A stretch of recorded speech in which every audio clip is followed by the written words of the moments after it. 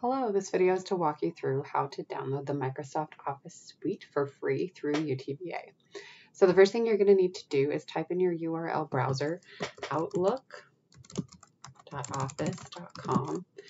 And I'm putting it here in this blank email because you can't see my URL uh, window up here. Um, but you'll need to go open your school email through outlook.office.com. And the login information should be the same as it is to log into the online school. Once you are logged in, you, your window should look something like this, and then you can click this nine dot up here to open this window. From there, click Office 365 up here in the right hand corner of that new window.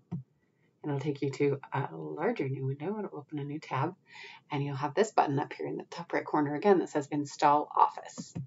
It'll give you the option to install Office 365 apps. Um, or you can choose just a few apps that you want to install, but I recommend installing all of them. They're the ones that you're going to see, right here.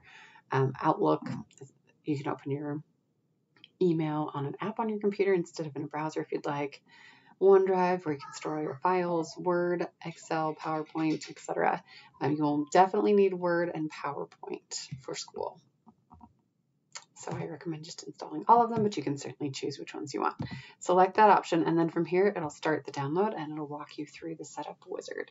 It's pretty easy to follow the instructions. If you get stuck, ask your homeroom teacher for help.